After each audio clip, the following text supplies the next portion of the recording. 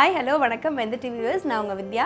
உப்பு புளி மிளகா ஷூவில் நம்ம நிறைய டிஃப்ரெண்ட்டான ரெசிபிஸ்லாம் பார்த்துட்ருக்கோம் இன்றைக்கி அதே மாதிரியே என்ன ரெசிபி பார்க்க போகிறோம்னா ஒரு ஆந்திரா ட்ரெடிஷ்னல் பெசரட் பார்க்க போகிறோம் எல்லாருக்குமே தெரிஞ்சிருக்கும் பெசரட் ஆந்திரா ஆந்திராவுடைய பிரேக்ஃபாஸ்ட் ட்ரெடிஷ்னல் ரெசிபின்னு இன்றைக்கி நம்ம வந்து அதே கொஞ்சம் டிஃப்ரெண்ட்டாக பாசி பயிரை யூஸ் பண்ணி தான் யூஸ்வலாக வந்து பார்த்திங்கன்னா பெசரட் பண்ணுவோம். இன்றைக்கி வந்து நம்ம பாசி பருப்பு யூஸ் பண்ணி பண்ண போகிறோம் அதே இன்னும் கொஞ்சம் இது வந்து ஆல்ரெடியே ஒரு ஹெல்த்தியான ஒரு டிஷ் ஏன்னா நம்ம ரைஸ் எல்லாம் எதுவுமே ஆட் பண்ணல. ஃபுல்லாக ப்ரோட்டீன் பாசி பருப்பு தான் யூஸ் பண்ணியிருக்கோம். இது கூடவே வந்து பார்த்திங்கன்னா நம்ம புதினாவும் யூஸ் பண்ணியிருக்கோம் ஸோ இன்னும் கொஞ்சம் ஃப்ளேவராக அதே சமயம் ஹெல்த்தியான ஒரு ரெசிபி கிட்ஸ் வந்து நம்ம யூஸ்வலாக நம்ம புதினா சாப்பிட மாட்டாங்க. அவங்களுக்குலாம் வந்து பார்த்திங்கன்னா இந்த தோசையோட மிக்ஸ் பண்ணி கொடுக்கும்போது ரொம்ப ஃப்ளேவராக இருக்கும். ரொம்ப டேஸ்டியாகவும் இருக்கும் இந்த தோசை.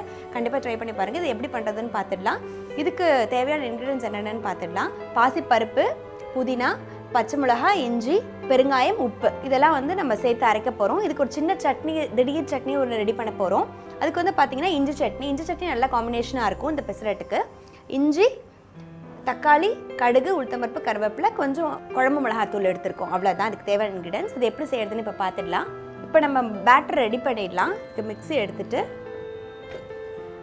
இதில் வந்து பார்த்தீங்கன்னா நம்ம இப்போ இந்த டூ டு த்ரீ ஹவர்ஸ் ஊற வச்சுருக்கோம் பாசிப்பருப்பு. நம்ம அடுத்து இப்போ புதினா ஆட் பண்ணிக்கலாம். இந்த புதினா சேர்க்கறதுனால பார்த்தீங்கன்னா இது வந்து அடிஷ்னல் இன்க்ரீடியன்ட் நல்ல ஃப்ளேவராக இருக்கும். காரத்துக்கு கொஞ்சம் இஞ்சி ரெண்டு பச்சை மிளகாய் சேர்த்துக்கலாம். இது நம்ம பருப்பு தோசைங்கிறதுனால நம்ம கொஞ்சம் பெருங்காயம் சேர்த்துக்கலாம். தேவையான அளவு உப்பு சேர்த்துக்கலாம். இதில் முக்கியமாக என்னென்னு பார்த்தீங்கன்னா நம்ம அரைக்கும் போதே இல்லை தண்ணி சேர்த்து அரைச்சிடணும். நம்ம மாவு ரெடி பண்ணதுக்கப்புறம் தண்ணி சேர்த்தோம்னா நமக்கு தோசை வந்து கிறிஸ்பியாக இருக்காது. நமக்கு இது தோசை பேட்டர் மாதிரி இருக்கணுங்கிறதுனால நம்ம அரைக்கும் போதே எவ்வளோ நமக்கு தண்ணி தேவையோ அந்த கன்சிஸ்டன்சிக்கே நம்ம அரைச்சி எடுத்துக்கணும். இந்த பேட்டர் இப்போ நம்ம ரெடி பண்ணிடலாம். கொஞ்சம் வாட்டர் சேர்த்து அரைச்சிக்கலாம்.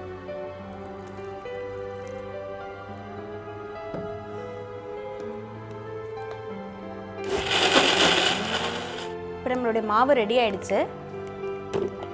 நம்ம பவுலில் மாற்றிக்கலாம் இது நம்ம ஒருவேளை வந்து நம்ம அரிசி ஊட ஊறப்போட போட மறந்துட்டோம்னா அரிசி மாவு கூட சேர்த்துக்கலாம். எனக்கு கொஞ்சம் கிறிஸ்பியாக வேணும்னா. இப்போ நம்மளுடைய மாவு ரெடி ஆயிடுச்சு. நம்ம ஒரு தவா வச்சிடலாம்.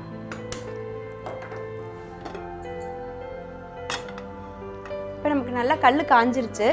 இது நம்ம பெசரட்டு மாவை இதில் ஊற்றிடலாம்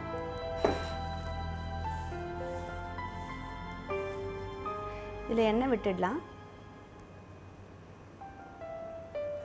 இந்த தோசை வந்து பார்த்திங்கன்னா ரொம்ப ஃப்ளேவர் அதே சமயம் ஒரு ஹெல்த்தியான ஒரு ரெசிபி இது.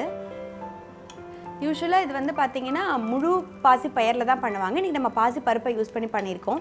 ஏன்னா பாசி பயிர் வந்து ஊறுறதுக்கு கூட லேட் ஆகும். ஆனால் நமக்கு வந்து பாசி பருப்பு தாங்கிறதுனால ஒரு ஒன் ஹவர் ஹாஃப் அன் ஹவர்லேயே ஊறிடும் அதனால் ஈஸியாக பண்ணிடலாம். நம்ம வீட்டை திடீர்னு தோசை மாவு இல்லாட்டி பாசி பருப்பு இருந்தால் ஊற வச்சு டக்குன்னு பண்ணக்கூடிய ஒரு ஈஸியான ஒரு ரெசிபி இப்போ நம்ம திருப்பி போட்டிருக்கோம். ஒரு ஃப்ரண்ட் அண்ட் பேக் நல்லா நமக்கு கிறிஸ்பியாக ரெடி ஆகணும். இது ரெடி ஆகிறதுக்குள்ளே நம்ம ஒரு திடீர் சட்னி பண்ணிடலாம். அதுக்கு ஃபஸ்ட்டு பார்த்தீங்கன்னா ஒரு பேன் வச்சிடலாம். அதுக்குள்ளே தேவையானதெல்லாம் மிக்சியில் சேர்த்து அரைச்சிடலாம். இது ரொம்ப சிம்பிளான ஒரு சட்னி.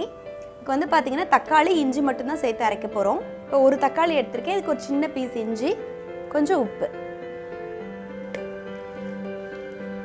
நம்ம நல்லா அரைச்சிக்கலாம்.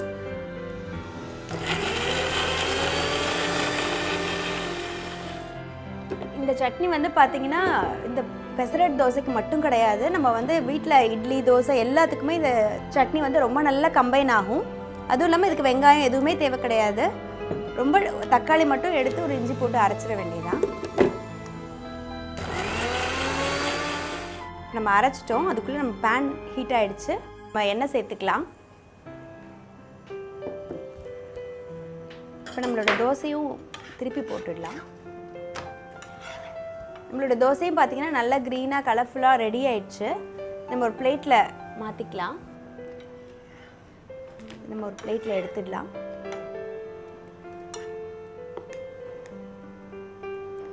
நமக்கு வந்து இந்த மாவு ரொம்ப திக்காக இருக்குது அப்படின்னு நினச்சோன்னா அது திருப்பியும் நம்ம மிக்சிக்கு கொண்டு போய் தான் தண்ணி சேர்க்கணும். நம்ம வந்து இப்போ கன்சிஸ்டன்சி சரியில்லைன்னுட்டு நம்ம மாவில் தண்ணி இப்போ சேர்க்கக்கூடாது.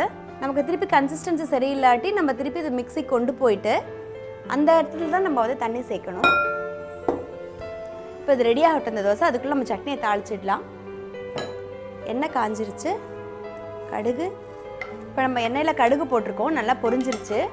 இப்போ நம்ம உளுத்தம்பருப்பு சேர்த்துக்கலாம்.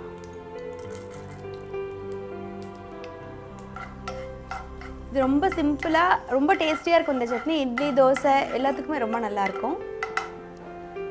கருவேப்பிலை சேர்த்துக்கலாம்.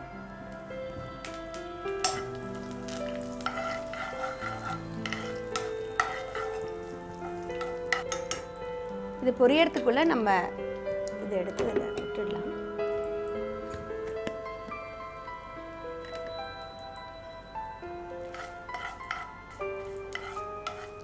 உளுத்தம்பருப்பு இன்னும் கொஞ்சம் கலர் மாறட்டும். நம்ம தோசையை திருப்பி விட்டுடலாம். ரெண்டு பக்கம் இப்போ பார்த்தீங்கன்னா எவ்வளோ தின்னாக வந்திருக்கு பாருங்கள் நம்ம கன்சிஸ்டன்சி வந்து இந்த மாதிரி இருக்கணும். அதே சமயம் கிறிஸ்பியாக இருக்கும். நம்ம கன்சிஸ்டன்சி எப்படி வேணுமோ அது வந்து நம்ம மிக்சியிலேயே ரெடி பண்ணி தான் கொண்டு வரணும். திருப்பி எக்ஸ்ட்ரா வாட்டர் நம்ம வந்து நம்மளுடைய பேட்டரில் ஆட் பண்ணக்கூடாது. இப்போ நமக்கு பொரிஞ்சிருச்சு உளுத்தம் பருப்பு. இதில் இந்த தக்காளி இஞ்சி மிக்சரில் சேர்த்துக்கலாம்.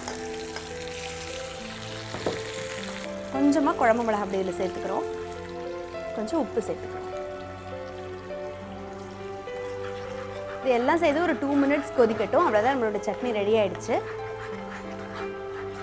இந்த குழம்பு மிளகாத்தோட பச்சை வாசனை போகிற அளவுக்கு நம்ம கொதிக்க விட வேண்டியதா இப்போ நம்மளோட சட்னி ரெடி ஆயிடுச்சு. இது ஒரு பவுலில் ட்ரான்ஸ்ஃபர் பண்ணிடலாம். இப்போ நம்மளோட இஞ்சி சட்னியும் புதினா பெசரட்டும் ரொம்ப நல்லா ரெடி ஆயிடுச்சு. இது வந்து பார்த்திங்கன்னா ரொம்ப ஹெல்த்தியான ஈஸியாக சிம்பிளாக பண்ணக்கூடிய ஒரு பெசரட்.